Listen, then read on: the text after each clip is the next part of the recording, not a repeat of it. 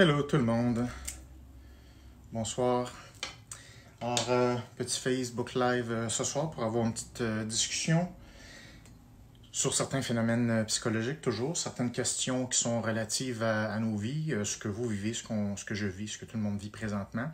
Et la semaine passée, j'avais fait un, Facebook Live où, j'avais parlé de différents éléments, dont des choses relatives à l'anxiété, des choses relatives à comment euh, justement s'améliorer dans, ce temps de crise-là, quelles solutions on peut amener dans ce temps-là, dans ce contexte-là? Il y a certaines choses euh, qu'on contrôle, il y en a plusieurs évidemment qu'on ne contrôle pas. Et euh, je vous avais invité la dernière fois, la semaine passée en fait, de m'envoyer des questions par courriel. Et euh, je vous avais promis que j'allais euh, j'allais les regarder, que j'allais les étudier un petit peu euh, et qu'on allait en reparler cette semaine. Alors, je vous propose la même chose, c'est qu'on serve de, de ces questions-là que j'ai reçues pour pouvoir discuter de certains enjeux. Puis selon moi, les questions que, que j'ai reçues sont, cette semaine sont, euh, sont hautement intéressantes et pertinentes. Intéressantes parce que je- ce, sont, des questions qui m'intéressent tout simplement et pertinentes parce que je pense qu'elles sont directement reliées à, à- à ce qu'on vit. Et euh, je pense que chaque question peut, peut ouvrir sur beaucoup de sujets. hein. Donc, euh, il y en a quand même beaucoup de questions euh, cette semaine. Et euh, chaque question peut mener euh, vers plusieurs discussions. Je vais quand même tenter de assez succinctement, succinctement répondre à chacune de ces questions-là. Puis, et, et aussi de manière euh, la plus concrète possible. Euh, premièrement, je veux, je veux commencer par euh, remercier mon équipe. Euh, souvent, les gens, il y a certaines personnes qui restent dans l'ombre, puis je le sais parce que souvent je suis dans l'ombre avec, mes clients, donc euh, c'est ma job de faire shiner mes clients, puis euh, c'est ma job de rester dans l'ombre, c'est bien correct.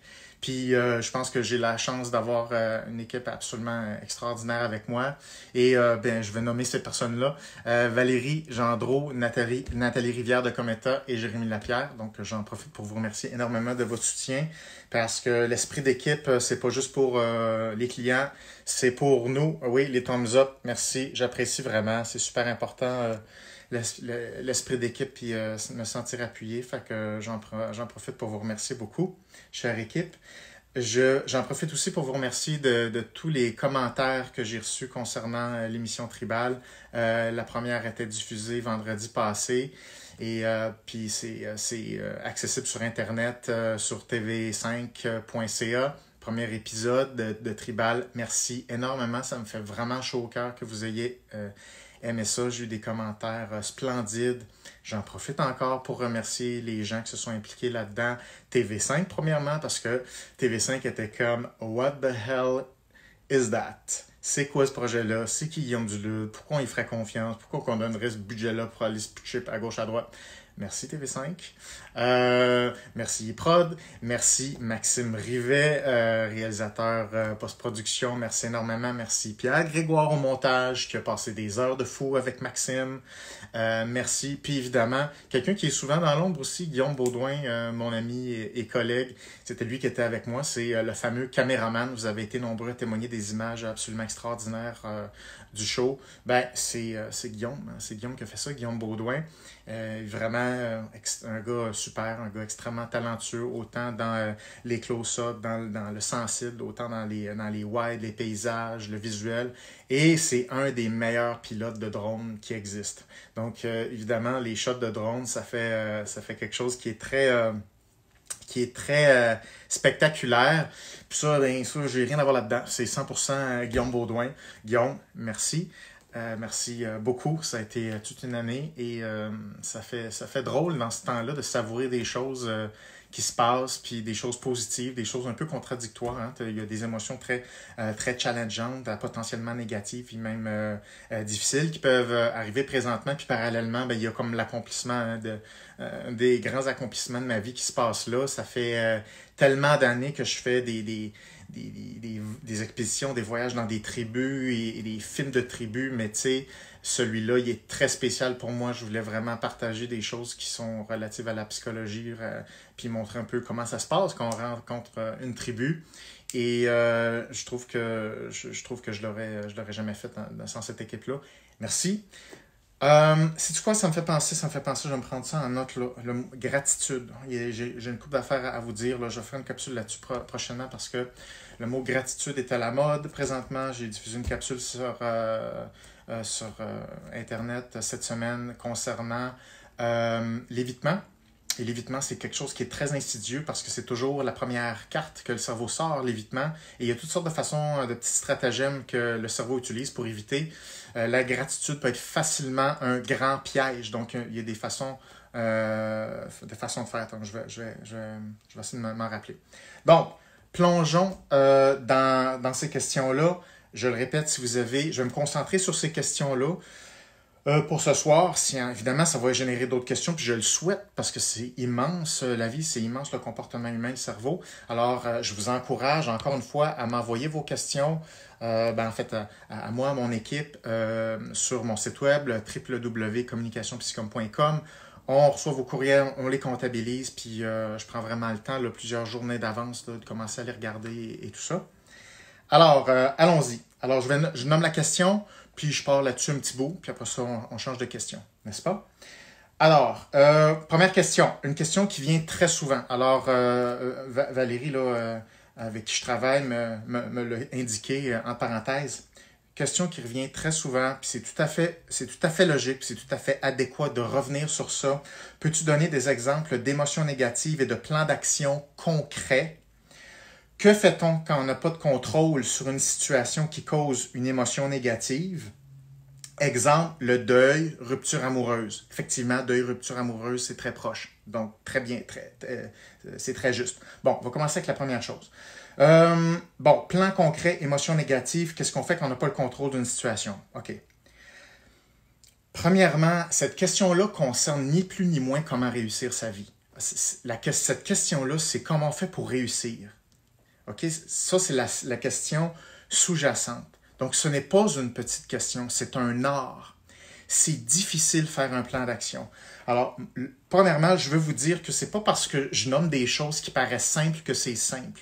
Euh, on est sur Internet, j'essaie de conscientiser euh, les gens de certains mécanismes, certaines choses, mais c'est sûr que chaque chose, je pourrais en parler pendant 10 heures de temps, parce que c'est un sport faire ça. C'est pas simple. Donc, c'est pas parce que je, le dis rapidement que j'assume que c'est facile. Pas du tout, puis je veux vraiment euh, renforcer ça. Je ne prétends pas que c'est facile. Au contraire, c'est vraiment difficile et c'est très rare les gens qui sont capables de, de le faire. Il y a des gens qui sont capables de le faire, qui sont entraînés pour le faire, entre autres les athlètes. Les meilleurs athlètes au monde, c'est ceux qui, consciemment ou pas, sont capables de tout le temps se faire des plans d'action sur lesquels ils ont le contrôle. C'est l'art de délimiter le monde et recréer des zones de contrôle. Donc ça, c'est une vigilance, c'est une façon de fonctionner et à un moment, donné, à force de travailler, tu deviens bon à agir comme ça. Tu deviens bon à te positionner, tu deviens bon à, à tracer tes limites et là, retrouver ta zone de contrôle. Ce n'est pas simple, mais il faut le pratiquer. Il n'y a pas de truc magique. Il y a certains trucs, on va en parler, mais je veux juste vous dire, c'est un, art de vivre, c'est un, challenge et ce n'est pas si simple que ça. D'ailleurs, je coach des gens que, je ne peux pas nommer, évidemment, c'est confidentiel, mais des gens qui réussissent. Puis, euh, je vous dis, il y, en a une partie d'entre eux qui pleurent, qui pleurent euh, euh, avec moi tellement qu'ils sont découragés ces temps-ci. C'est pas parce qu'ils sont pas bons, puis c'est pas parce qu'ils n'ont pas, ils ont, pas le talent, puis qu'ils n'ont pas la discipline, puis qu'ils n'ont pas réussi, puis qu'ils n'ont pas les capacités. C'est parce que c'est vraiment dur. Spécialement, spécialement en ce moment. C'est toujours dur, c'est toujours un défi. Mais en ce moment, c'est spécial. Ce n'est pas simple. Même moi, il faut que je me parle, il faut vraiment que je me concentre. Ce n'est pas, je ne roule pas sur le, sur le, le, pilote automatique. Il y a vraiment une démarche active qui est là. Donc, je ne veux pas sous-estimer la difficulté. Donc déjà là, tous ceux qui veulent aller de l'avant par rapport à ça, comprenez, ce n'est pas facile pour personne. Vous n'avez, pas idée qui je coach, mais peut-être si vous le saviez, ça vous soulagerait de dire, savez-vous quoi, on est tous dans le même bateau? Good, on est tous dans le même bateau, on a tous des challenges et c'est correct. Puis le but, c'est pas de faire les choses parfaitement. La perfection, ce n'est pas une bonne stratégie. Le mouvement, c'est une stratégie et le mouvement doit être basé sur une zone de contrôle. Donc, la première chose, c'est avoir une zone de contrôle. Donc, concrètement, pour vous remettre en situation, il, faut prendre l'habitude de faire une interaction entre les émotions négatives à bas niveau, c'est-à-dire à bas de 5 sur 10 comme intensité, le plus vite possible, et faire le lien avec un sujet de conversation, un, un sujet ou un enjeu, quelque chose qui vous stresse. Donc, sur une base quotidienne, faut que vous soyez alerte sur comment vous vous sentez. Vous devez comme être, une, être tuné sur une machine, ça doit vous intéresser. Ça peut pas être comme bon, m'a réglé ça aujourd'hui. Si vous pensez à ça, c'est sûr, vous êtes dans le champ. Je peux, je peux déjà vous le dire, vous êtes dans le champ carrément. C'est tellement pas comme ça. C'est comme dire, bon, là, je suis dans ma Formule 1, bon, on va mettre le volant à droite, puis là, là, ça devrait être réglé aujourd'hui c'est comme c'est impossible. Je veux dire, c'est, juste comme pas comme ça que ça marche. C'est une conduite, c'est une vigilance, puis c'est une petite conduite qui est fine. Et plus on va vite, et plus on est dans, dans des intempéries, plus le moindre petit coup de volant peut faire euh, bouger les choses. Donc, il, faut être prudent. Les émotions, ces sensations-là émotionnelles sont des indices euh, vraiment, vraiment importants. Donc, première affaire, s'y intéresser. OK, bon, c'est bon. Puis là, après ça, il y a faire le lien avec un sujet euh, qui, qui, nous préoccupe. Des fois, c'est pas si simple que ça. Des fois, c'est quelque chose en particulier. Souvent, une émotion négative, c'est, le signal d'une augmentation de prise de responsabilité sur un enjeu. C'est-à-dire souvent quelque chose qu'on a mis en dessous du tapis parce qu'on a procrastiné, parce qu'on a évité. C'est correct, on peut pas tout s'occuper de tout euh, à, tous les jours. Faut être. Euh, l'idée, hein, c'est, jamais d'être, d'être parfait, puis c'est pas du tout un objectif. Par contre, si à un moment donné, une émotion commence à fluctuer, puis on commence à taper le 3 sur 10, 4 sur 10, 5 sur 10, là, là, ça commence à être une priorité. Donc là, il faut commencer à avoir un plan d'action très, très sérieux par rapport à ça. OK? Maintenant, un plan d'action, ça veut dire quoi? Ça veut dire qu'il faut essayer d'améliorer une situation. C'est-à-dire qu'il faut, un, nommer l'enjeu, deux, déterminer des actions qui va faire en sorte que cet enjeu-là, qui suscite l'anxiété, va commencer à bouger. Maintenant, la question, c'est bouger dans quel sens? Souvent, on n'en parle pas. On parle de réduire les émotions négatives, mais on ne parle pas de directionnalité. Oubliez ça il faut que dans le plan d'action, il y ait deux enjeux. Une diminution de l'intensité des émotions négatives, c'est-à-dire avec le fait qu'on adresse la situation, mais dans le plan d'action, il doit avoir une directionnalité, c'est-à-dire, oui, on veut que les émotions négatives diminuent, mais on veut que cet enjeu-là aille dans une direction. Donc, pour qu'un plan fonctionne, il faut qu'on souhaite quelque chose. On ne peut pas juste dire, moi, je veux plus sentir quelque chose. Impossible. C'est impossible. Donc, je, tiens à spécifier ça parce que je trouvais que c'était une, bonne question. C'est comme, OK, je fais un plan, je fais un plan, mais là, je ne le sens pas que ça m'aide. C'est parce que le plan, il faut qu'il serve, à faire avancer quelque chose dans une certaine direction. Cette direction-là, c'est en, fonction d'une une destination qui nous intéresse. Donc, il faut que dans euh, chaque sujet qui nous stresse, il faut un but qu'on souhaite à l'intérieur. Même s'il est petit, ça compte quand même. C'est pas obligé que ce soit un but grandiose, et, c'est pas du tout. Mais le cerveau, il s'oriente avec des mouvements puis avec des vecteurs. Puis des vecteurs, ce sont des, des espèces de segments virtuels qui partent d'un point A ou un, point B parce que une grande quantité des formes d'énergie physique dans l'univers a une certaine directionnalité. Et donc, les vecteurs obéissent beaucoup à ça et les émotions obéissent beaucoup à ça, c'est-à-dire la, la, directionnalité. Donc, tu deux jobs, identification émotionnelle euh, identification de l'enjeu relié à une émotion. Deux, quelle action, que je peux, quelle action je peux faire pour sentir que les choses avancent. Et trois, il faut que ça avance dans un sens qu'on souhaite. Pas nécessairement atteindre le but aujourd'hui. C'est une directionnalité. Ce n'est pas l'atteinte d'un but aujourd'hui. Donc, si on fait ça, il va avoir un effet. Et cet effet-là va être que l'émotion négative va commencer à diminuer et vous allez vous sentir euh, plus puissant. C'est-à-dire que l'impuissance va diminuer, la puissance va augmenter. Et c'est le jeu euh, qu'on veut. On fait diminuer l'impuissance, augmenter la puissance, mais ça prend absolument une directionnalité, sinon il n'y a pas vraiment d'effet. Donc ça, c'est euh, quelque chose qui est très important. J'enchaîne sur l'autre volet de cette question-là. Euh, que fait-on quand on n'a pas le contrôle sur une situation qui cause une émotion négative? Bon, en général, il y a toujours un contrôle et il faut trouver où il est. ça c'est l'art de vivre. Il faut, de façon obsessive, trouver une façon qu'on peut faire quelque chose. Ça là, et ça c'est beaucoup en lien avec l'imagination, avec le fait qu'on s'intéresse aux problèmes pour dire attends qu'est-ce que je peux faire, qu'est-ce que je peux faire, on en discute avec des gens qui peuvent nous aider, pas pour arranger le problème à notre place, pour avoir de l'information, pour brainstormer. Le brainstorming, ça sert à avoir plus d'étoiles si vous voulez dans votre constellation pour dire ah oui je suis capable de relier différents points, ah je vois des nouvelles constellations. Mais si dans un ciel il y a deux étoiles il n'y a pas grand-chose à relier. Donc, si vous reliez seulement euh, seulement deux étoiles, votre impuissance va, rester assez élevée parce que vous n'avez pas de fun. Ça ça, ça, ça, ça, va pas dans le sens où vous voulez aller. Donc, il faut multiplier les informations. Ça sert à ça, la communication, entre autres. Ça sert à ça, parler de quelque chose à quelqu'un. Ça sert à, à, ça, à parler avec quelqu'un qui connaît peut-être plus cet enjeu-là ou votre problème pour qu'il puisse nous aider à voir plus clair et donc augmenter notre capacité à dire qu'est-ce que je pourrais contrôler juste un petit peu? Rappelez-vous une chose, c'est que le cerveau, il veut juste un quelque chose d'utile sur lequel on peut se concentrer. On n'a pas besoin de se concentrer sur tout. Donc, c'est l'art de dire, ça, j'ai pas le contrôle, pas le contrôle, mais attends, où je peux trouver un petit quelque chose que je peux contrôler, puis agir dedans et le faire bouger dans une certaine direction?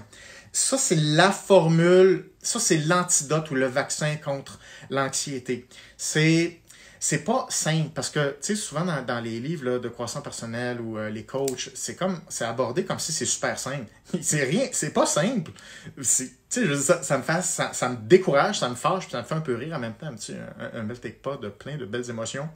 Parce que c'est tellement pas comme ça. Sinon, le succès, le succès, ça serait tellement facile. Imaginez, c'est vraiment dur, hein, réussir quelque chose.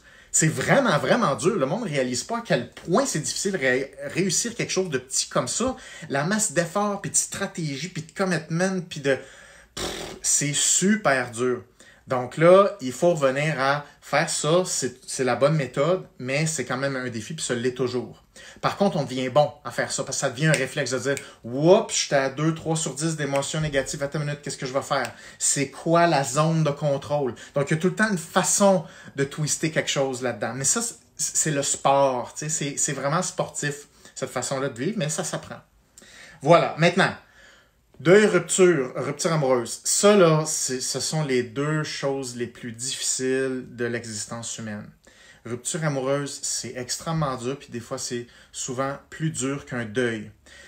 Un deuil, un deuil relatif à la mort de quelqu'un, par exemple. Parce que ce qui est moins pire du deuil, c'est que la zone de contrôle euh, est, très, très est, quasiment absente parce que c'est comme, ça relève quasiment de Dieu. C'est-à-dire que la personne est décédée. Il n'y a rien à décider là-dedans, il n'y a pas de stratégie. Donc, on est extrêmement puissant, mais on est aussi soulagé parce que ce qu'on appelle le critère dichotomique est clair. Le critère dichotomique, c'est est-ce que c'est blanc ou c'est noir? La personne est décédée ou est, est, vivante? Il n'y a pas d'intermédiaire tant que ça entre les deux. Le coma est un certain intermédiaire qui est plus rare, mais ça, c'est extra, ça, rend fou. C'est encore, encore plus difficile. Mais bon, là, euh, n'allons pas trop loin là-dedans. Là. Euh, un deuil, c'est dichotomique. C'est plus facile pour le cerveau d'accepter ce qu'on ne contrôle pas. Et lorsqu'on accepte la zone qu'on ne contrôle pas, il y a le processus de deuil qui embarque. Le problème avec les relations amoureuses, c'est que le deuil, il ne veut pas clencher. Le deuil ne veut pas embarquer parce que le cerveau, il cherche à élargir son contrôle. Qu'est-ce que ça veut dire? Ça veut dire que, mettons, tu te fais laisser par quelqu'un, c'est souvent ça. C'est plus, plus difficile quand tu te laisses pour quelqu'un en, termes de deuil et d'anxiété parce que le, cerveau se dit oui, mais d'un coup que si je faisais quelque chose, je pourrais renverser la vapeur. Et ça, ça rend fou. Parce que tant et aussi longtemps que la ligne n'est pas claire entre ce sur quoi on a du contrôle et ce sur quoi on n'a pas de contrôle, le cerveau il cherche le contrôle. Et ça, ça rend fou. Donc ça, c'est vraiment dur en relation amoureuse et c'est pourquoi tu peux rester accroché après quelqu'un pendant des mois et des années. Je niaise pas, là, des années. Parce que le deuil, il fait non, non, non, non, hein, ta minute, là, j'ai pas dit mon dernier mot. Le deuil, il ne veut pas embarquer. Donc, il y a un refus du deuil, donc c'est un évitement du deuil.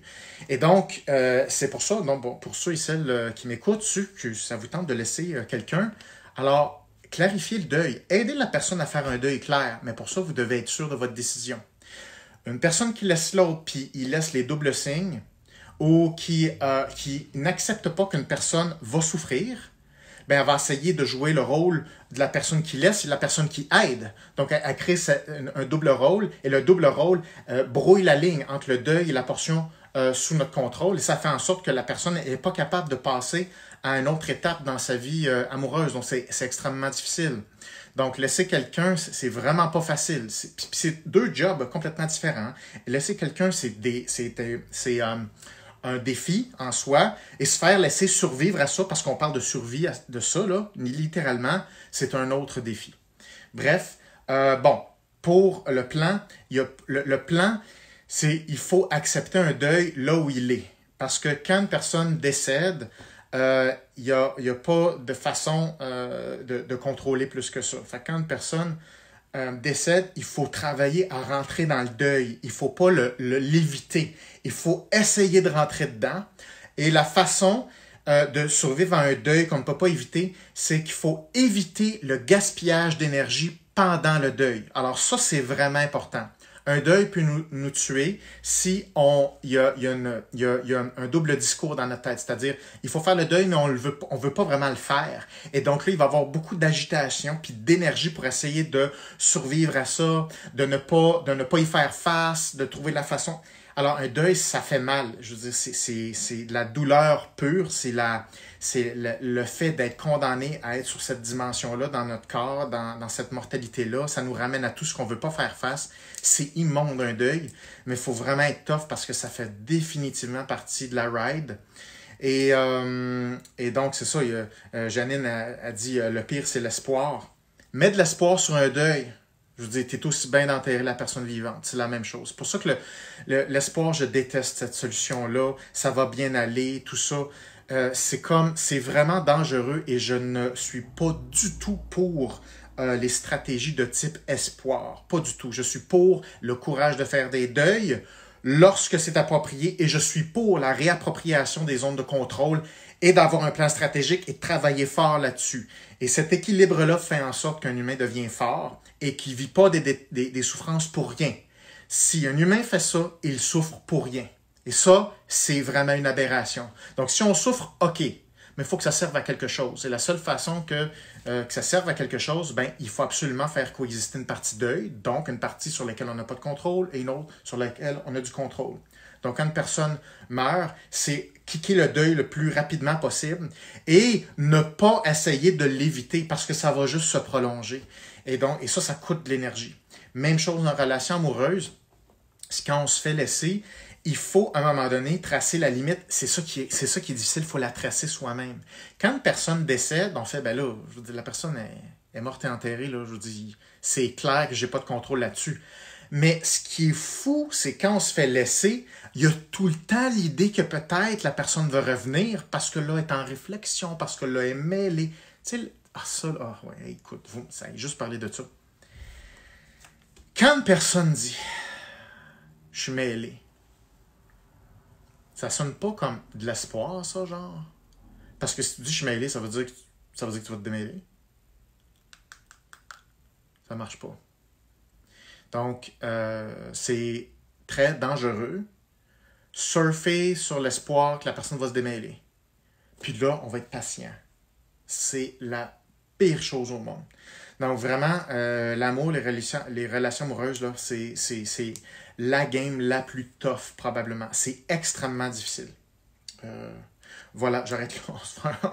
On se, fera, un Facebook Live juste sur les relations amoureuses, ça vous tente. OK, next. Isabelle, lorsqu'on prend la responsabilité d'une émotion négative, comment savoir si notre plan d'action est réellement un plan ou s'il s'agit plutôt d'une stratégie d'évitement inconscient? Très bonne question. Euh, en gros, c'est la vitesse euh, de diminution des émotions négatives qui va être fort probablement reliée à ça. Tout ce qui diminue les émotions négatives rapidement moi, je vous dirais 90% du temps, ça va être euh, un évitement. Même si ça look un plan, parce que le cerveau, il est capable de faire semblant que c'est un plan. C'est fou. Le cerveau, il fait n'importe quoi. N'importe quoi, là, c'est comme. il, veut faire. Il veut, il veut tout pour se sortir du trou, là, tellement immédiatement. fait que, je vous dirais, faut être très méfiant sur aller bien vite. Je ne, je ne pense pas que c'est bon. Un bon plan d'action qu'on adresse, c'est supposé tranquillement faire diminuer l'émotion négative, mais c'est supposé continuer à diminuer tant et aussi longtemps qu'on travaille activement sur les parties du plan. Si l'idée du plan lui-même fait diminuer les émotions négatives, je vous dirais attention, vous, vous allez recevoir un boomerang d'en face parce que là, il y, a, un retour du balancier qui va revenir parce que ça ne peut pas aller si vite que ça. C'est impossible. Oubliez ça. Là. Donc, euh, émotions, euh, qui, des émotions, des émotions négatives qui diminuent rapidement, ça tue bien raide. C'est comme le boomerang, il revient 15 fois plus fort, puis il est en métal, puis il est en feu, puis il nous, nous, il nous tranche la tête. Fait que moi, je recommande pas la diminution des émotions négatives trop rapidement.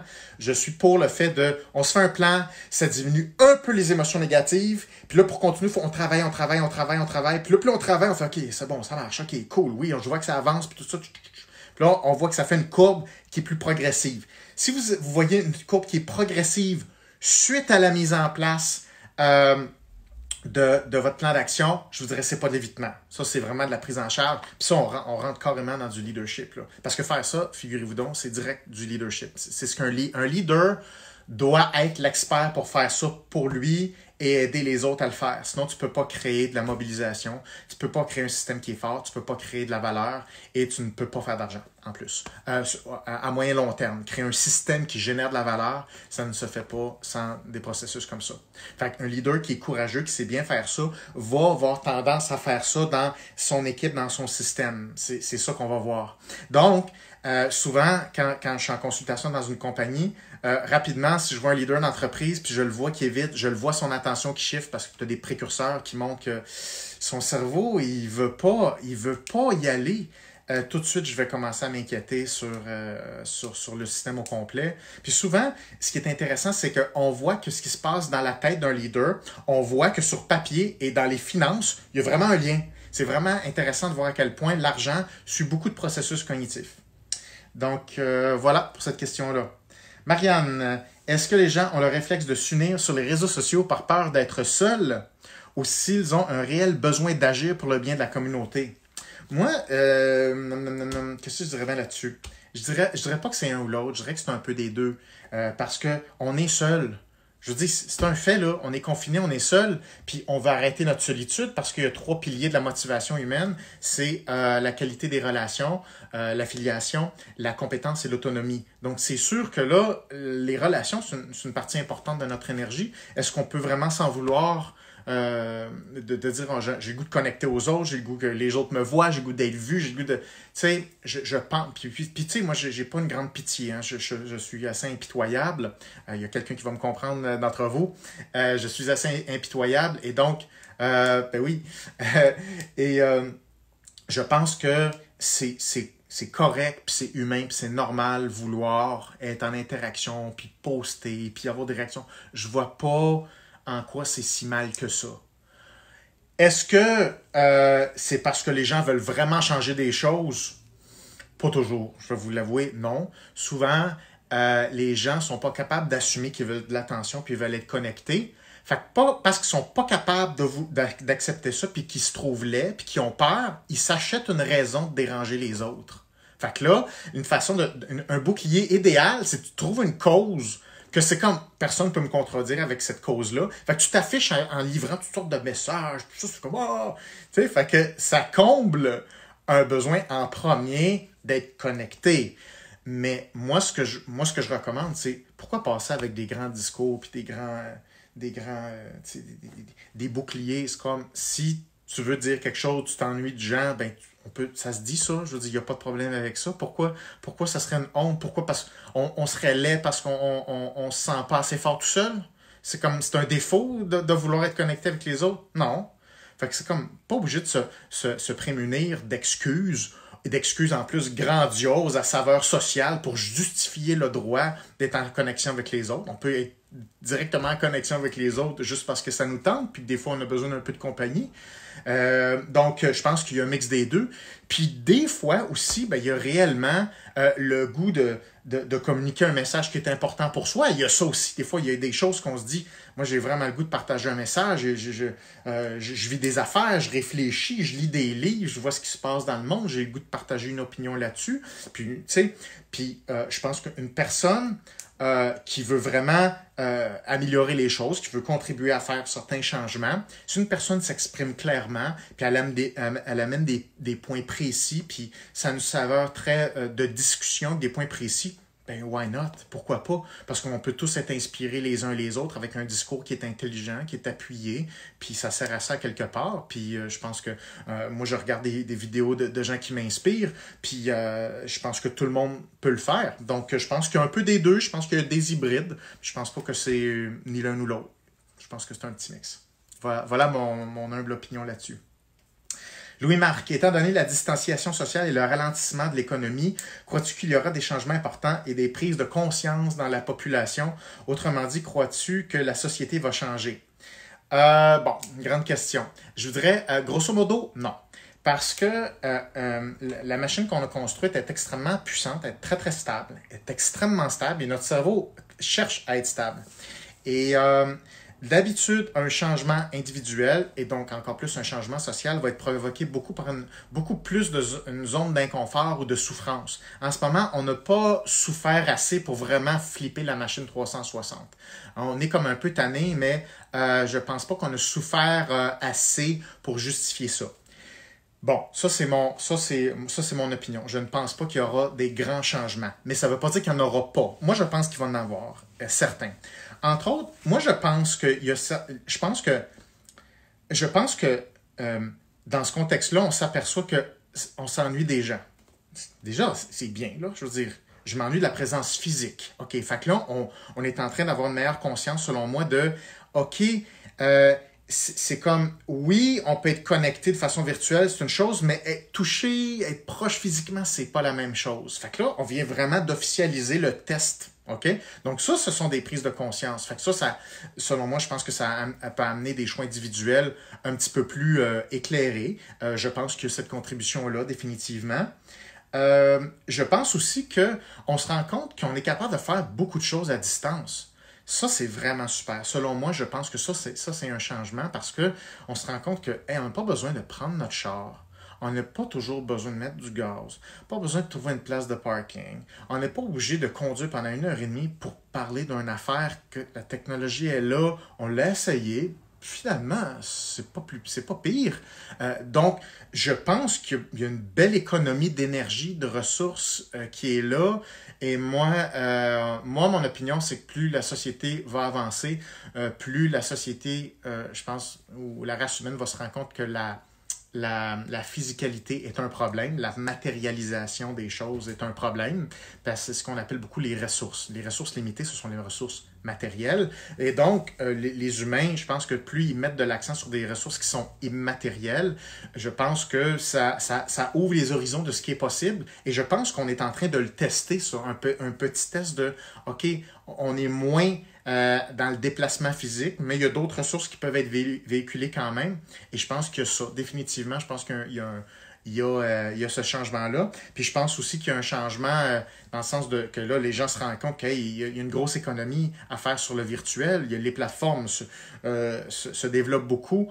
Et je pense qu'il y a définitivement ce, ce changement-là. Mais je pense pas que ce soit une révolution totale vraiment, vraiment loin de là. Ah, une autre chose que je pense qu'on va s'être pratiqué, c'est qu'on va s'être pratiqué à être en confinement. On va s'être pratiqué à pour le prochain virus, parce qu'il va en avoir d'autres, je ne veux pas faire de, peine. Mais là, là, on va vraiment avoir appris des choses là-dedans, de dire, OK, lors des premiers signes précurseurs, et on va être tellement être incroyable pour être en confinement rapidement. On va être capable d'isoler les choses beaucoup plus vite. Euh, fait que définitivement, on vient d'apprendre à travailler en équipe d'une autre façon. Puis ça, je trouve, que, je trouve ça euh, vraiment, vraiment intéressant. Autre effet positif, je pense que les, je pense qu'on se rend compte de plus en plus à quel point la psychologie c'est important parce que on est confronté à être avec, notre cerveau présentement. Donc, on s'en rend compte euh, que même si euh, je fais le tour de mon salon puis je fais n'importe quoi, je peux pas me sauver de mon cerveau. Et donc, moi, je pense qu'il y a une nouvelle ère de la psychologie qui va, qui se poursuivre. Et ça, j'en suis vraiment très heureux. Et on se rend compte que euh, quand on est tout seul avec soi, il se passe plein de choses dans le cerveau. Puis ben oui, c'est super, c'est nos cerveaux qui créent le monde. Ça crée tout. Donc, si on ne comprend pas la machine qui génère tout ce qu'on a fait, à un moment donné, on travaille à l'envers. On a beau essayer de faire du recyclage x 50, moi, j'ai toujours pensé qu'on s'y prend un peu à l'envers. On travaille plus sur le symptôme. Mais là, je trouve que ça nous ramène justement en diminuant énormément la consommation puis en, nous ramenant face à soi-même. Et je pense que c'est une très bonne chose, tant et aussi longtemps qu'on explique des choses, puis qu'on amène des solutions, puis on voit plus clair, puis on s'intéresse à soi. L'autre affaire, s'intéresser à soi, ça a une saveur très ésotérique, très psychopop, soi, s'intéresser à soi. Mais c'est pas, je, ne suis pas d'accord avec cette vision-là parce que c'est souvent un peu flou. Donc, je pense que c'est une bonne chose si on opérationnalise ça, puis ça devient assez actif, assez concret, puis assez euh, proactif justement comme démarche. Puis là, on, a non seulement euh, la capacité de s'intéresser à soi, mais de prendre action en s'utilisant son plein potentiel. Et ça, c'est excitant pour les humains. Voilà ma réponse à cette question-là. Euh, Alex, quel effet aura cette crise sur les personnes qui ont des tocs en lien avec le nettoyage compulsif? Moi, je pense que ça ne pas facile, les petits amis. Euh, je, pense que, je pense que les gens qui ont un trouble obsessionnel compulsif, euh, je pense qu'ils trouvent ça euh, très, très difficile. C'est ça, je, pense que ça, ça n'aide pas du tout. c'est mon opinion. bon, il y a différents types de TOC n'est-ce pas, il y a des tocs, euh, ce qu'on appelle les tocs contamination, c'est-à-dire la, phobie d'être contaminé par quelque chose. Alors là, c'est sûr que euh, un typique toc de contamination est capable de faire des liens et de douter de tout, qu'il peut avoir des agents contaminants partout. Là, c'est quasiment copier-coller euh, ça qui se passe. On, a peur que le virus soit partout, soit dans l'air, soit en train de toucher ci, toucher ça. Euh, c'est comme les gens, ils lavent leur épicerie euh, au complet dans le garage avec des masques. Euh, donc, mais est-ce que c'est inapproprié? Ben, en ce moment, c'est approprié parce que ce sont des indications qu'on a reçues et, le virus est, très, très insidieux. Il se propage à une grande vitesse. on, V'là, deux, deux, semaines et demie, j'ai posté quelque chose sur sa capacité à, se transmettre dans l'air. Le lendemain, euh, la presse dit Non, non, euh, tout va bien, là, euh, inquiétez-vous pas, bonne marche tout le monde. J'étais vraiment surpris. Je suis juste allé voir quelques articles scientifiques. Il y en a quatre qui, sont, qui, qui, qui étaient en révision le jour même, où ils montraient que le virus était capable de vivre au moins 2,7 heures dans l'air. Donc, c'est comme des fois, là, on ne sait pas quoi croire, et ça, ça augmente la confusion et ça augmente le doute. Et le doute, et, le doute compulsif alimente beaucoup le TOC. Donc, je pense que c'est un, temps particulièrement difficile pour le TOC avec contamination. David Poulain, euh, j'ai tendance à faire des plans ambitieux euh, pour rester en mouvement, mais souvent, après quelques mois, je me brûle. Comment faire un plan stimulant sans créer trop de sources d'anxiété de performance? OK. Euh, ça, c'est vraiment une bonne question parce que on sait qu'il faut avoir des buts, on essaie de faire des plans, puis là, on essaie de le faire, puis là, on le file plus. C'est comme notre tête se dit faudrait bien que je fasse ça, mais comme ça me tente plus, je n'ai plus la motivation. Tu sais, la, motivation, c'est très, euh, c'est très sensible. Hein? Ça s'effrite, c'est vraiment, c'est vraiment sensible, cette petite corde-là. Alors, euh, rapidement, voici ce que je vous propose. Je vais vous faire un, petit dessin avec mon iPad. Là. OK? En gros, c'est qu'un but doit s'inscrire dans un sens profond. Donc, si par exemple, je ne sais pas, vous allez voir là. OK? Ça, c'est un petit bonhomme, c'est vous. Puis ça, je vais la coter sur ma face. J'ai de la barbe, il y a de la grippe. Alors, mettons que ça, c'est un but. Alors, ici, il y a des buts à court terme, à moyen terme, à long terme plus les buts sont à long terme, plus votre vecteur de sens va avoir tendance à être fort, ce qui vous tire vers l'avant. Ça ici, c'est le sens. OK? D'habitude, quand on manque de motivation, c'est parce que le sens s'est effrité. C'est-à-dire, on ne reconnaît pas en quoi ça a rapport avec moi, avec mon expansion. Un but, la capacité euh, puissante d'un but ou l'ADN d'un but qui va vraiment nous donner le goût de se lever le matin, puis se battre, puis persévérer, c'est que dans ce but-là, on voit que c'est nous. On, voit que dans ce but-là, là, on voit le potentiel qu'on a à l'intérieur et ce but-là reflète qui on est. Donc, il doit y avoir une adéquation entre le but le plus long terme possible et les sous-buts qui en découlent, parce qu'avant de rendre un but long terme, il faut que tu le break down en sous-buts. OK? Donc, c'est une chaîne de buts, un petit peu comme ça ici. Donc, on veut plusieurs buts imbriqués les uns les autres, mais tout ça, il faut que notre cerveau reconnaisse, faut qu'il se voit là-dedans, faut qu'il fasse Hey, je, le sais que c'est moi, sens que c'est moi, je peux le faire. Je sens que je peux faire. Ça me semble que c'est moi, ça. Puis si je faisais ça, ça serait des parties de moi qui prendraient de la place, qui, qui prendraient de l'expansion. Donc, l'objectif d'un humain, c'est toujours augmenter son expansion. Fait que vos buts, dans le fond, c'est un trick. C'est juste une excuse qu'on se donne pour prendre l'expansion sur des parties de soi un peu cachées, endormies, mais qui sont là. Donc, si vos buts sont, le cerveau les reconnaît pas, sont juste beaux, oubliez ça vous ne serez jamais capable d'être persévérant. Donc, l'art de la persévérance, c'est l'art de mettre le bon ADN à travers nos buts à moyen et à long terme, parce que sinon, la vie, c'est beaucoup trop difficile et les épreuves sont trop nombreuses, puis on n'aura jamais le gaz pour y arriver. Donc, un, des, trucs, un, des, un des trucs pour la persévérance, c'est qu'il faut qu'il y ait des ingrédients actifs dans, euh, dans ces buts-là. Ça, c'est ce que je, je vous recommande. Et plus vos buts vous font sourire, plus vous êtes dedans. ah, ça c'est un truc, ouais, c'est vrai, ça c'est un bon truc. Si vous pensez à quelque chose que vous aimeriez, un début, début que vous, avez, et si vous souriez pas, ah, moi déjà là, je vais, je vais vous dire, probablement qu'ils sont beaux, ils look good, mais votre cerveau, il, il se voit pas dedans. Euh, ça, c'est une des raisons pour, pour, pour, laquelle, pour lesquelles euh, une personne, euh, tu sais, qui veut perdre du poids, puis là, elle veut faire des marathons, puis elle veut se mettre en forme. Cette personne-là, elle aime l'idée, mais elle ne voit pas son potentiel d'elle en forme. Elle voit le fait qu'elle devrait faire ça puis que ça devrait être un bon but. Mais il n'y a pas de lien entre le. Il n'y a pas de vecteur entre, elle et son but, sa projection mentale de ce qu'elle aimerait réaliser. Et ça, c'est un prédicteur de.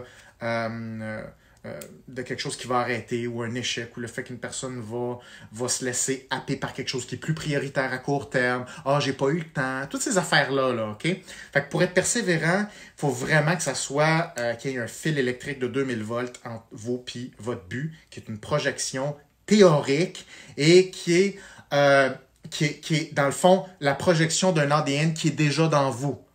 Donc, euh, c'est important pour conceptualiser des buts qui sont puissants, il faut avoir une certaine conscience de son potentiel. C'est pour ça que quand souvent je travaille avec des gens, je travaille jamais à mettre des buts trop vite parce que sinon ça ne marchera pas. Ils vont être décoratifs. Il faut que je travaille à faire avoir un potentiel. Et, donc, un coup que le potentiel vient d'émerger, là, là, il y a de l'énergie qui est active, puis là, on configure un but, puis là, whoop, là, c'est facile. Ben, c'est facile. Un but est toujours dur. Toujours, toujours, toujours, toujours.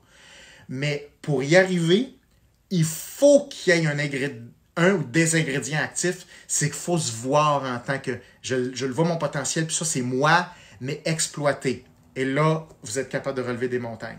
Donc, plus vous avez de buts comme ça, plus vous allez avoir du fun, plus, vous avez, plus vos talents vont se matérialiser, plus vous, allez avoir l'air merveilleux, plus votre cerveau va, va, va, mobiliser le meilleur de vos ressources, etc. etc. en gros, très rapidement, je sais, c'est des gros sujets. Euh, voilà. OK. Francisco me demande euh, les marqueurs neuropsychologiques en lien avec l'ordre et le chaos. super grosse question. OK? Euh, parce que c'est vrai, la semaine passée, j'ai dit. j'ai dit ça un petit, peu, un petit peu rapidement. Je dis, il y a quand même des marqueurs neuropsychologiques qui tendent sur, vers, vers l'organisation du monde pour l'humain qui est quelque chose qui est plus chaotique versus quelque chose qui est plus ordonné, c'est-à-dire l'ordre versus le chaos. Et le cerveau travaille toujours à mettre de l'ordre des choses. Bon, très rapidement, parce que c'est énorme, autant philosophique que neuropsychologique, très rapidement, le cerveau aime l'orientation. Quand le cerveau s'oriente, ça veut dire que la conscience travaille bien avec les balises. Il peut, il peut se servir de ça pour créer un mouvement directionnel. Ça reste toujours en termes de mouvement directionnel. OK? Et ça, c'est vraiment important de comprendre ça parce que euh, que ce soit l'humain ou que ce soit une roche, ça fonctionne selon le même principe, c'est-à-dire qu'il y a un aspect directionnel et dynamique dans l'énergie en général. Euh, je, je, donne un exemple. Tu sais, quand on, parle, justement, je, travaille sur cette section-là de mon livre euh, aujourd'hui. Quand on dit E égale MC2, c'est que l'énergie est en lien avec une constante qui s'appelle C, c'est-à-dire la vitesse. Si tu enlèves la, constante C dans ton équation, tu as une énergie qui est extrêmement superficielle. Donc, euh, dans n'importe quelle particule, si cette particule-là voyage à une très grande vitesse, il y a des éléments nouveaux qui se révèlent, qui sont compris à l'intérieur des euh, micro, euh, microparticules qui composent cet élément-là. C'est-à-dire qu'il y a énormément d'énergie dans un caillou, par exemple, pas parce que, à cause que dans le caillou, euh, les atomes, les neutrons, les protons, les quarks interagissent. Donc, même un caillou bouge. Là, je sais que ça fait un petit peu intense, mais c'est ça, c'est la réalité. et donc, il y a énormément d'énergie dans les objets en, général, mais la seule façon d'accéder à cette énergie-là, il faut absolument combiner de très haute vitesse. Tout ça pour dire que la vitesse est une composante d'accès euh, à l'énergie et donc le, et pas seulement la vitesse, je vous dirais même l'accélération. C'est pas seulement la vitesse, c'est une, c'est une vitesse qui accélère et donc l'accélération est directement liée avec l'accès à l'énergie. Et donc un humain, c'est ce qu'il recherche à faire. Il recherche l'accélération. C'est la raison pour laquelle on n'est pas capable de satisfaire de rien et que ça n'arrivera pas. Peu importe qu'on essaie de vivre de façon minimaliste, machin, machin, machin, ça, c'est des, des, choses qui sont tellement superficielles, que c'est tellement déconnecté de l'univers au complet. C'est tellement pas comme ça que ça marche. Un humain vise la croissance, et pas juste, juste seulement la croissance, l'accélération de la croissance. Et, peu importe la forme, hein, ce n'est pas une croissance de type physique, c'est au sens large. Donc, euh, bon, pourquoi je parlais de ça? C'est que l'accès à euh, l'énergie est en lien avec notre capacité de créer de l'ordre, se repérer pour créer un déplacement. Alors, le cerveau est conçu pour créer ces repères-là, pour créer du déplacement, créer de l'accélération, créer de l'énergie. Et, euh, donc, il y a des marqueurs neuropsychologiques relatifs à ça, comme par exemple, lorsqu'on est en dépression, ben, ce qui est la dépression, c'est la perte de sens. OK? Puis ça, là, tous les psychologues s'entendent pour dire ça. C'est une perte de sens profond. Euh, profond. Euh, donc, c'est une difficulté d'orientation. Et ça, ça, ça coupe tous les systèmes d'énergie euh, humaine, la dépression. C'est vraiment quelque chose qui est, qui est grave. C'est vraiment raide, une dépression. Et, et, donc, il y a des marqueurs relatifs à ça. Et quand on est en dépression, c'est ça équivaut justement au chaos, c'est-à-dire l'absence de repères et de directionnalité.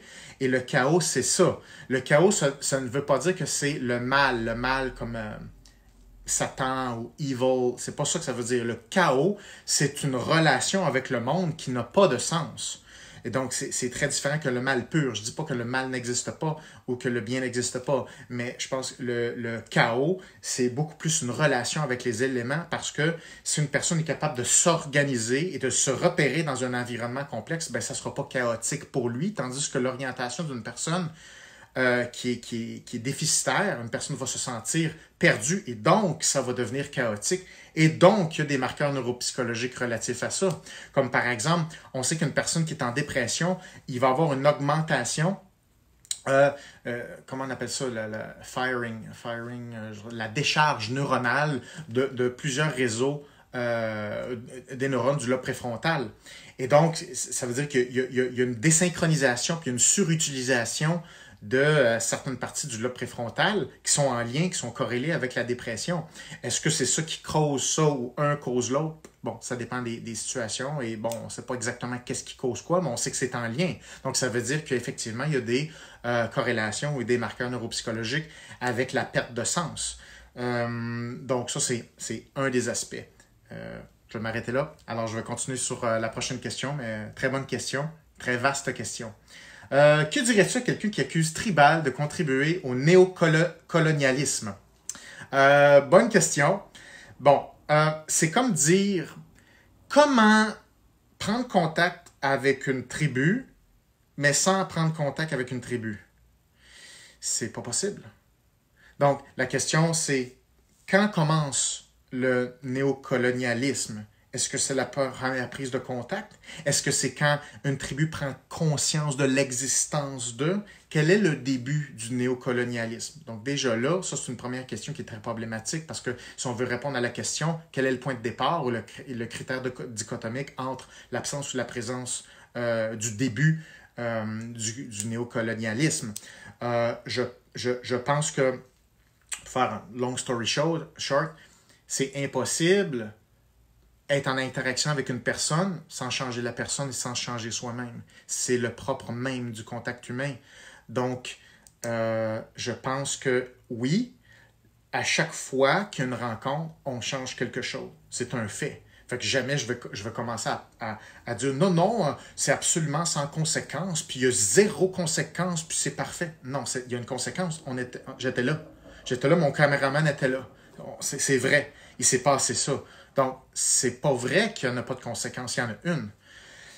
Maintenant, la question, c'est quel type de conséquences euh, on veut et quelles dispositions ont, ont, été prises. Je pense qu'il y a un moyen de créer un contact euh, avec une personne, avec ces communautés-là, et de faire en sorte qu'il n'y ait pas significativement de côté négatif euh, relatif à, cette rencontre-là? Je pense que oui. Je pense qu'il y a moyen de faire que ça se fait de façon respectueuse. Par contre, c'est pas parce que ça, se fait de façon respectueuse que ça minimise la rencontre elle-même. Il y a une rencontre partout et à chaque fois, ben, il y a des conséquences.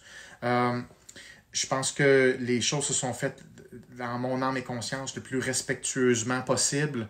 Euh, tout est étudié. Ça fait 15 ans que j'étudie les choses que je dois faire quand je rencontre euh, une tribu, ce que je ne dois pas faire, comment faire. je pense que ma préoccupation, c'est tout le temps de garder leur force culturelle. C'est-à-dire qu'il ne faut pas que mon impact, en gros, l'objectif, il ne faut pas que mon impact crée le doute de leur valeur à l'intérieur de la communauté.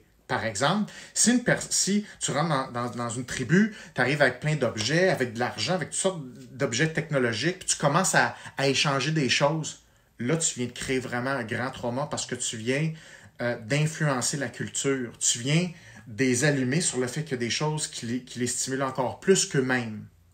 Alors, mon but quand je m'en vais dans une communauté, c'est qu'ils oublient moi, mes objets physiques, j'essaie d'en avoir le moins possible, ou de ne pas mettre l'accent là-dessus, ou ne pas leur rappeler, pour tout le temps que moi, je rehausse mon plaisir d'être avec eux selon leur culture, ce qui fait en sorte qu'on garde la valorisation centrée autour des mécanismes culturels présents, euh, mis en place. Je pense que très humblement, je ne suis pas pire pour faire ça. Est-ce que ça veut dire que euh, j'ai absolument aucune conséquence de ma présence? Je ne prétends pas ça du tout.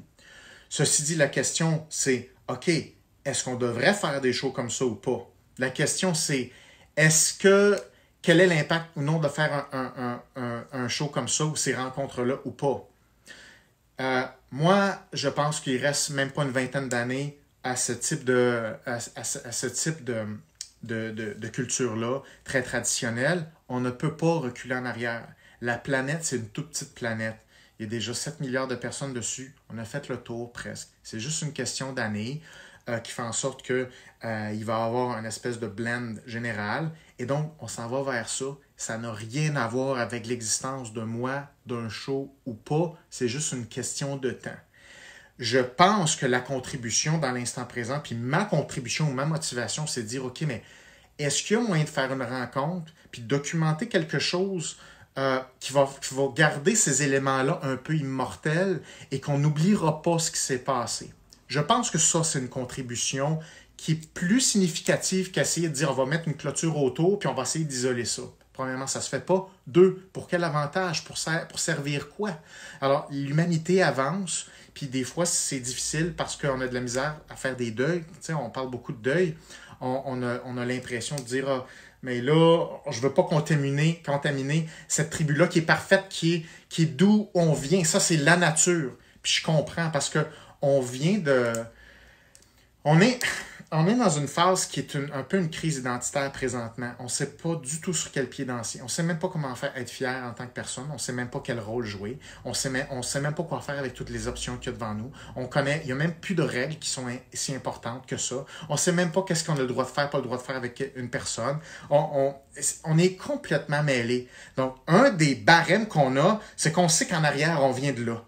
Imaginez, on ne connaît pas le futur, puis notre, passé s'effrite sous nos yeux Comment ne pas être anxieux? C'est tout à fait normal. Mais ça veut dire qu'il faut adresser ça actuellement la période où on est rendu, plutôt que s'accrocher pour dire euh, non, il faut rester en arrière, il faut tout garder pareil. On, ne peut pas garder les choses stables dans l'univers, il faut avancer, puis il faut avancer de façon le plus éclairée vers le meilleur de l'humanité tout en faisant des deuils. Voici ma réflexion par rapport à ça. Je vous remercie beaucoup de cette question-là. Euh, j'aimerais connaître ton point de vue sur, euh, sur, sur, sur euh, le TDAH versus l'anxiété sur les produits naturels. Vu ton expérience dans les autres cultures, j'aimerais bien t'entendre sur ce sujet, homéopathie et autres produits naturels. Bon, OK, il y a, il y a plusieurs questions là-dedans. La première question, c'est TDAH versus anxiété. Oui, plus ton attention est instable, plus ton anxiété va être instable aussi et va avoir tendance à augmenter dans le temps. Et c'est un active l'autre plus tu es anxieux et ton attention fluctue beaucoup et tu n'as pas appris à travailler euh, ta fluctuation, euh, en fait ton attention soutenue, c'est comme ton attention qui va être instable va encore, encore plus contribuer à l'augmentation de ton anxiété qui va se contaminer partout. Ta capacité de mnésique, ta capacité d'apprentissage, de rétention d'informations, de création des relations positives, tout ça, c'est relié à l'attention soutenue. Donc en ce moment, on n'est pas très bon en attention soutenue les euh, générations plus jeunes ne sont pas très bons en, attention soutenue. Par contre, on dit tout le monde est TDAH. Ah, oui, c'est un vrai TDAH. OK, fine. Puis l'anxiété, ça ne nous intéresse pas? Il y, a une, interaction claire entre l'anxiété et les fluctuations attentionnelles. Fait qu'on règle l'attention, pas les émotions? C'est impossible. C'est impossible. Donc, s'il y a une interaction, fait que ça sert à rien de surmédicamenter un processus qui est anxieux, qui est hyper instable de toute façon. Il n'y a pas d'avantage à ça. Il faut travailler les deux ensemble. Puis la médication peut être une solution si elle fait partie d'une composante et d'un plan qui est beaucoup plus large, qui est beaucoup plus, beaucoup, plus cohérent et intégré. L'autre chose, l'anxiété, beaucoup de bases, euh, surtout l'anxiété vers euh, les jeunes est beaucoup régulé, régulé en fonction de, euh, euh, des relations, la qualité des, des relations familiales et avec les amis. Donc, si plus les relations sont instables, plus l'anxiété va être activée. Plus l'anxiété est activée, plus l'attention est instable. Fait que c'est comme une chaîne à plusieurs maillons. Fait que quand même qu'en bout de ligne, on dit Ah ah, TDAH, OK, mais? La, cohérence entre les maillons de la chaîne est où? Fait que, fait puis là, après ça, ça crée des de anti-médicaments, de pro-médicaments. Pour moi, ça ne joue pas là. C'est une interaction de facteurs psychologiques qui sont interactifs les uns avec les autres et dont beaucoup euh, doit, euh, euh, nécessitent beaucoup d'implication parentale, entre autres. Beaucoup, beaucoup parentale. Donc, c'est ça, c'est un sujet chaud parce que euh, ça, ça ramène à ses propres responsabilités euh, comme parent. Donc, c'est ça, c'est sûr que c'est difficile. Par contre, on peut pas, mon message, je ne peux pas isoler la composante attentionnelle de tous les autres processus psychologiques en cours. C'est de faire fausse route. Et ça ne fonctionnera pas de toute façon parce que même si tu gèles un enfant qui est meilleur euh, avec son attention, est-ce que vraiment son anxiété va être meilleure, va être mieux contrôlée? Et surtout, est-ce que ça va faire un enfant qui a le goût d'apprendre, qui a confiance en sa, capacité d'apprendre? Rappelez-vous, pour atteindre des grands objectifs, faut que tu aies conscience d'un potentiel. Si un enfant, à cause de son attention, son anxiété, puis tout ça, c'est pas conscient, c'est un enfant, lui, il sait pas, là, tout ça, puis la, plupart des adultes aussi, c'est bien pas conscient. Si ça, ça altère sa capacité d'apprendre, comment il est supposé développer des objectifs qui impliquent l'apprentissage? Oubliez ça. Donc, la vision totale des défis qu'une personne va, euh, euh, va générer, les défis qui, sont, qui veut se projeter est en fonction d'un potentiel. Donc, si l'attention est tout croche, si l'anxiété est tout croche, si les relations sont tout croche, sa capacité d'apprendre est tout croche, comment il est capable de synthétiser des buts reliés à un potentiel qu'il pense qu'il n'y a pas? Oublie ça. Comment ça se fixe, ça? On n'en parle pas de ça. Next. OK. Euh, as-tu des commentaires ou euh, concepts à nous partager face à la neuropsychologie et l'art? Karim, Karim, tu poses des, très bonnes questions. Euh, je vais t'avouer très franchement, il faut que je lise un peu plus, plus spécifiquement. C'est sûr que je pourrais partir un peu là-dessus, là, à gauche et à droite, là, mais parce que la neuropsychologie, c'est littéralement ce que le cerveau fait. Puis l'art, ben, je veux dire, l'art, c'est tellement vaste. Fait c'est sûr qu'il y a une interaction avec la neuropsychologie puis l'art. Mais le problème avec l'art, le gros problème avec l'art, c'est que l'art implique tellement de processus mentaux que l'art veut comme rien dire. C'est comme, à un moment donné, c'est quoi qui est de l'art? Il faut délimiter qu'est-ce que c'est l'art, puis quel processus particulier on met là-dedans. Donc, je te dirais, c'est sûr que la neuropsychologie est impliquée par l'art, euh, avec l'art, euh, mais il faudrait être un petit peu plus précis dans la question, puis parce que ça, c'est un domaine, euh, c'est un domaine énorme. Euh, j'ai de la misère à répondre à cette question-là. Donc, euh, voilà. Fait que peut-être on pourrait se reprendre avec une question un peu plus précise. Euh, recommandation de livres. recommandation de livres. Je lis, pas, pas en ce moment. je suis en train de l'écrire. Je lis pas tant que ça. Je lis beaucoup d'articles scientifiques. en ce moment. en ce moment, je, je lis beaucoup sur l'identité, Ouais, l'identité, l'identité de genre, euh, tout ça, c'est parmi les grands, grands thèmes. Euh, je lis beaucoup là-dessus présentement, mais je lis peu de livres en général. Je lis beaucoup euh, d'articles scientifiques, donc je suis plus là-dedans présentement. Mais si j'ai une recommandation de livre, je vous le ferai savoir. Karim, toujours, neurobiologiquement, comment est-il possible d'augmenter ses capacités attentionnelles et donc de concentration, évidemment, c'est lié. Y a-t-il des stratégies si ce n'est que de prendre de, petites bouchées à la fois et d'augmenter le défi progressivement? Je, je te dirais pas vraiment. Euh, pour augmenter l'attention, la concentration, il faut le voir vraiment comme un muscle. Euh, il existe plusieurs études, plusieurs stratégies euh, de biofeedback euh, j'ai lu euh, une couple de trucs là, qui, euh, certains protocoles, pas tous, mais certains, semblaient donner des bons résultats d'une part. L'autre chose, la méditation. bon, la méditation a le dos très large. Là, et là disons seulement que la méditation qui est pratiquée sérieusement a des euh, vertus au niveau attentionnel et limbique, donc les activations émotionnelles aussi. Et, euh, donc, euh, l'attention peut se pratiquer. Donc, l'attention soutenue, c'est un processus qui est quasi musculaire. Il faut l'entraîner, ça arrive vraiment pas tout seul. Et, et, donc, il y a une interaction entre les émotions et la fluctuation attentionnelle, mais il faut absolument le pratiquer, cette attention-là soutenue. Et, faut, euh, et donc, il y a des exercices. Euh, et ce sont des exercices de concentration. N'importe quel exercice relatif à de la précision qui implique l'attention soutenue est un muscle. Euh, est un muscle attentionnel. Puis il y a différents sports que, qui, est vraiment, qui est vraiment le fun, je dirais. le tir à l'arc. Moi, j'ai commencé le tir à l'arc, entre autres, parce que ça me tentait comme activité, mais aussi parce que j'ai rapidement découvert que euh, la flèche va te dire euh, les opérations mentales qui se passaient en cours. Donc, ta façon de te concentrer, ta façon de respirer, la façon d'harmoniser tout ça euh, augmente beaucoup la concentration. Et donc, il y a différents exercices sportifs qui sollicitent l'attention soutenue. mais ce n'est pas une question de petite bouchée ou d'augmenter le défi. je vous dirais, dans un sens, c'est sûr que plus l'attention devient stable et solide, plus on est capable de, euh, de, préserver son attention soutenue longtemps. OK? Puis avec le temps, on a une attention soutenue très, très longtemps, très efficace. On est capable d'écouter des choses longtemps, on est capable d'apprendre à, une vitesse beaucoup plus rapide parce que le cerveau ne décroche pas. Donc, c'est quelque chose définitivement qui, euh, qui se pratique. Finalement, petite question. Euh, question de, de, de, Émilie. Bon, Émilie, euh, qui a une entreprise, puis elle veut la développer, puis là, elle sent, euh, Émilie, tu dis, je suis un peu stallé, là, tu sais, ça avance pas, qu'est-ce que je fais? Euh, bon, sans donner trop de détails, là, Émilie Leclerc, qui a une entreprise qui s'appelle Micro La Petite Bière, puis elle veut développer ça, puis bon, en général, moi, je ne recommande, je ne recommande pas de mettre sur pause le développement de vos projets. Absolument pas. Là, j'entends beaucoup, oui, mais les gens ne sont pas dans ce mindset-là, les gens sont confinés chez eux, fait que je vais avoir l'impression de les déranger. Non, pas du tout. Vous, là, vous dérangez les autres pour quand le COVID va être terminé? On se prépare à avoir une vie plus excitante avant euh, après qu'avant le COVID. Donc, avoir des discussions sur des projets futurs, c'est vraiment intéressant et c'est très rafraîchissant et tout le monde, on a hâte de voir ce qui va se passer.